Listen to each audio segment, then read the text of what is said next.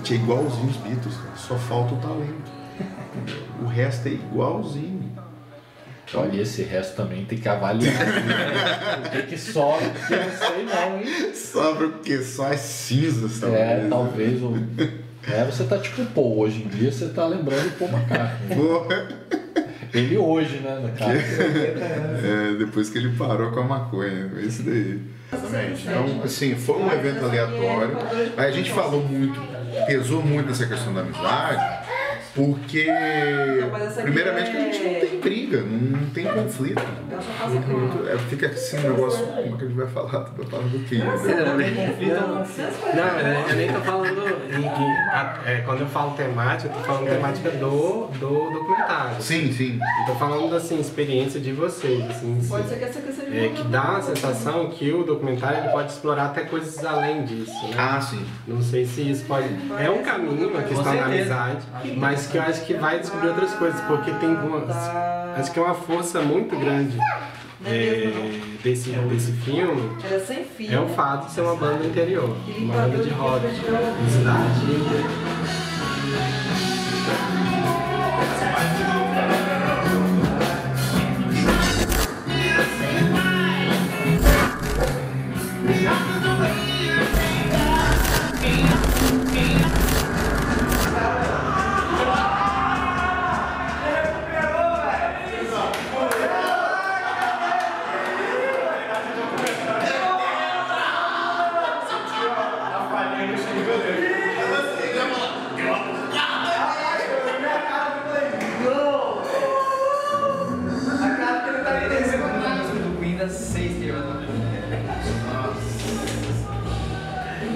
Eu vou fazer uma banda como a do Queen só, só de lambuja. Aqui, vou botar. Vou botar minha roupa do show aqui um take O homem mais vaidoso. Trouxe os bonés pra você aqui, ó. Vocês são playboy boné? Tem boné, só tem boné. Mas o boné tem que ser um pouco.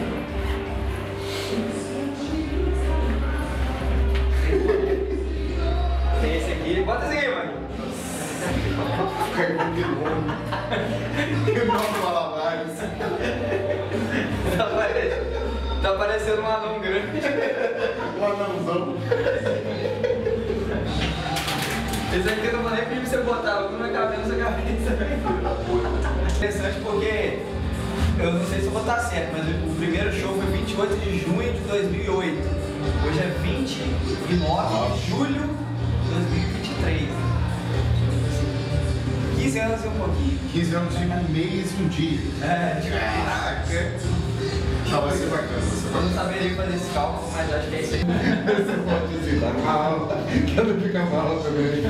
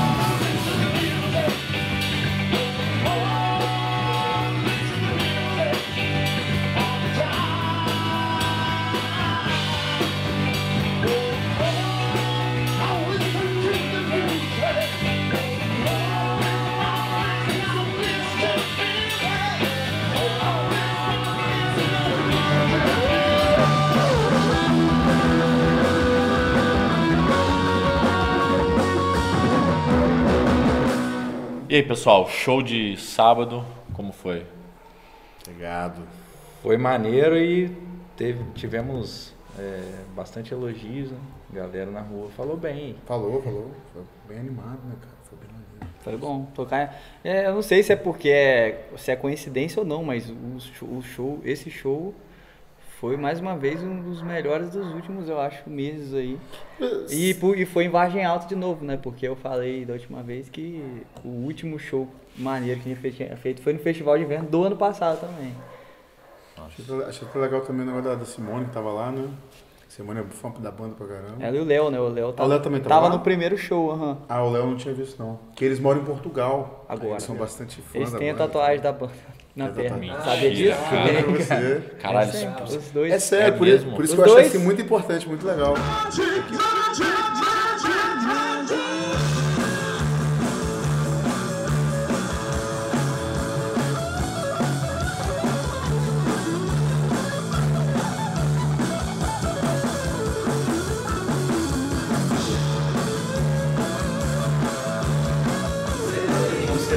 Era um lance menos formal. Né? Em que momento você se sentiu formalizado quanto, quanto profissional da música? Quando nós tocamos lá naquele evento lá na, na, na rodoviária. rodoviária. Todo mundo é unânime em falar nisso. É, Sim. É, todo mundo é unânime em falar nisso. Derrota, hein?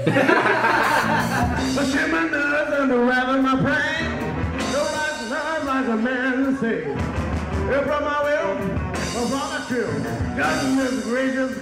balls of fire. I love the time on money was money. No matter now, honey. I change my gracious, Tem, tem uma coisa que o Steve sempre fala, todo mundo sempre fala, verdade, que é assim, ah, se for pra gente eu acho engraçado. Se for para arrumar confusão, se for para brigar, a gente acaba a banda.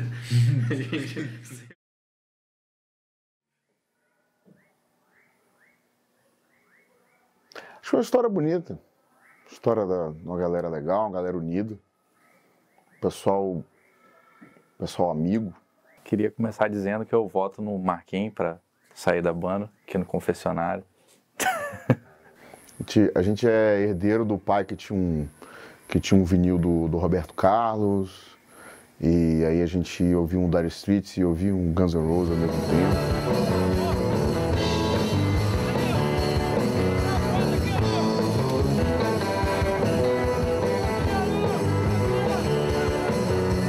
Acho que gente está transmitindo uma mensagem muito forte de, de amizade, de respeito, né? E de principalmente amor à música, né? Afinal de contas, a gente está aqui até hoje por isso.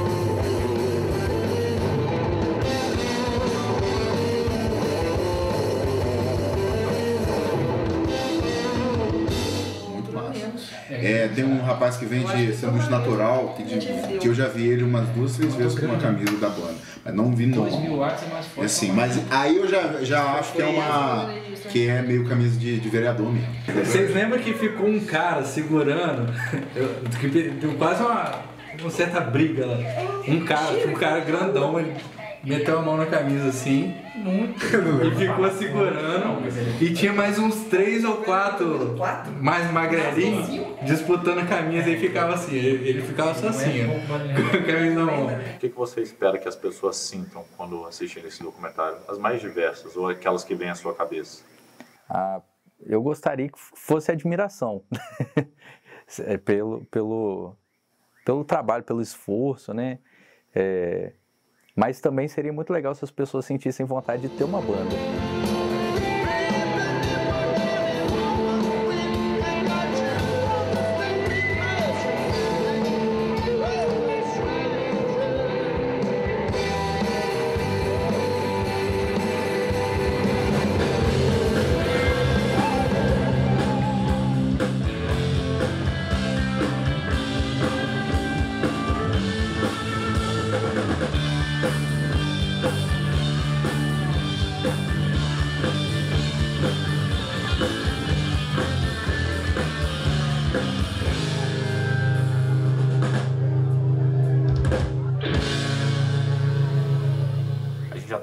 Desse documentário aí, show faz um tempo. Assim, é um negócio simples, aparentemente. Por que fazer um documentário sobre Jurassic Band?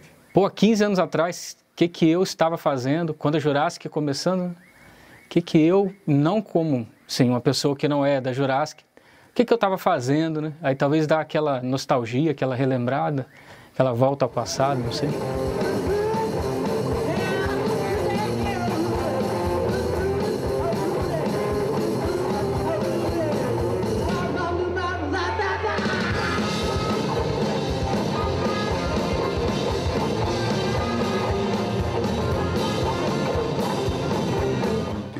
Hoje em dia o, o jovem, o jovem ele não quer saber de se revoltar, digamos assim. O jovem hoje em dia tem muito medo de guitarra distorcida. Né? Há um tempo já no Brasil. Mas quanto tempo mais você acha que vai durar a banda? Quanto tempo vai? Eu não tenho uma precisão. Se dependesse de mim, até eu morrer, mas talvez, talvez mais 15. Pô, só isso, Marquinhos. Sacanagem. Daqui 15 anos, mas aqui tá com 70, pô. E teve um episódio também que ficou pra história, esse daí também da banda, que é o Meu seguinte. que tipo, eu, eu, na época que tocava na banda, eu estudava no, no fundamental e médio ainda, né? Então assim, eu tava no ensino médio, a gente fez um show no Cabeça de Porco. Aí o Marquinhos se empolgou, porque o público tava todo com ele ali, né? No evento de motoclube, né? Aí começou. Ah, que esse negócio de Luan Santana e Restart. Santana. Vai pra no puta que pariu, vai tomar no cu, não sei o quê. Aí a galera, ah, aí ele achou foda Eu isso falei muito de forró e sertanejo, por exemplo. É, aí a galera achou isso foda. O Luan tipo, Santana tava atrás. Né? Aqui ele já se comparou a Beatles. Ah, Não, é só- mas, velho, é só as referências da parada. Eu, eu gosto de ter essas referências. A gente, a gente zoava, tinha uma piada que a gente falava, que era a gente, assim, a gente, a gente é igualzinho os Beatles, cara. Só falta o talento. O resto é igual. Don't let me.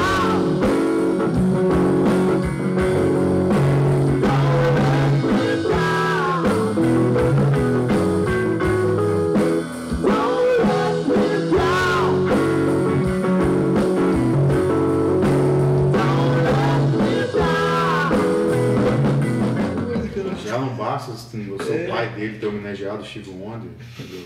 O nome dele é Steve Wonders. Olha, é mesmo? Seu nome? Eu contava essa piada a vida inteira, que não é piada.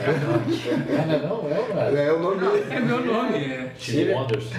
Steve Ah, é Anderson. Ah, Não Steve é o Wonders. Anderson. Mas é por causa. Ah, Mas não é porque o pai dele curtia, é porque ouviu e achou maneiro. Ah, o Steve, aí falou se o cara do cartório entendeu. Ah, eu sei escrever o que ele Deu uma entendeu. brasileirada no É, negócio. É, exato. Melhor do que o cara tentar escrever Steve, que ia ser assim, Steve Wonder.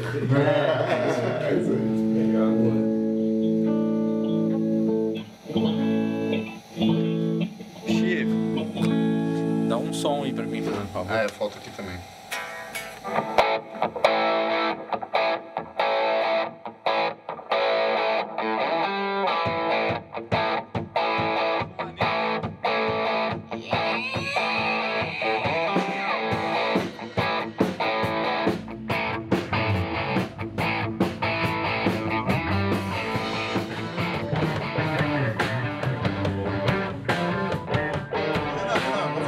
Fazer, um negócio também diferente, que não uma puxada, ó.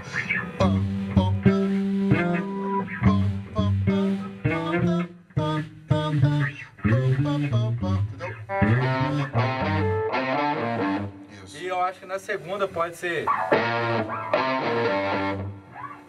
Isso. Pra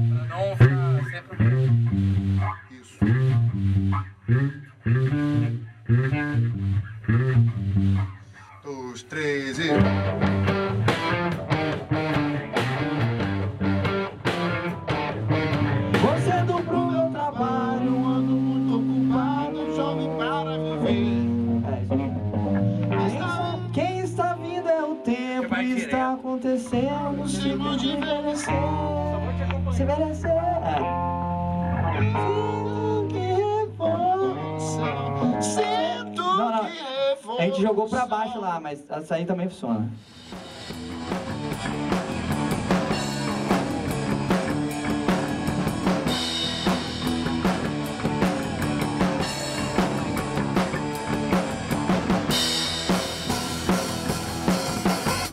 Mas pra você, próximo. Vou pensar numa palavra. Menos, eu acho menos coach até o Qual? Acho que conclusões que até menos Não, coach. cara, tinha que ser alguma palavra artística. Conclusões é menos não tem, coach, tipo, é. que não tem, tem nada a ver, mas encaixa. Dar o baixo direto mais próximo do refrão. Pra me acompanhar aqui, porque eu tô sentindo que essa parte só eu tô abaixando mais. As guitarras talvez podia abafar um pouco mais essa parte. E aí a gente solta mais no B e mais ainda no C. É, pigarro. Eu nem fumei tanta maconha assim, gente.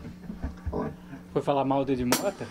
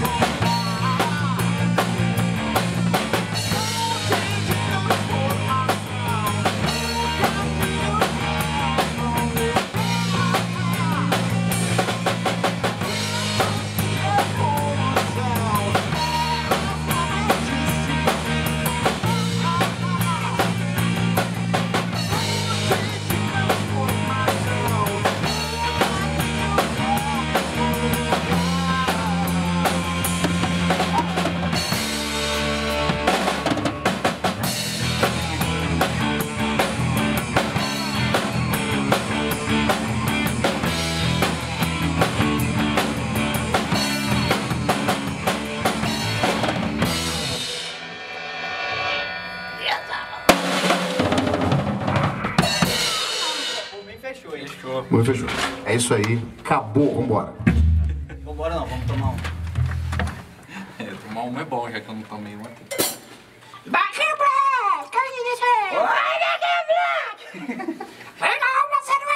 Nossa, cara, e era a primeira música, eu nunca, eu nunca tinha tocado ela pra valer, eu errei um monte de vezes. Eu errei, Não, eu nunca tinha visto nem a letra. Foi doido, né? Na hora foi embrulhado.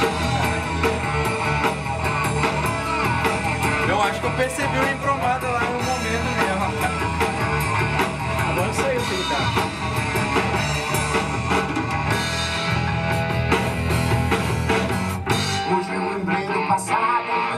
Eu né? Eu acho que essa, essa vez foi a vez que a gente mais vai a errou. boa. A última? É. Nossa, eu... Mas não tem problema, não vai passando, passa pedacinho, velho. Sim, eu tô falando só pra... Sim, não. Porque... É, ensaiou, ensaiou, foi... Se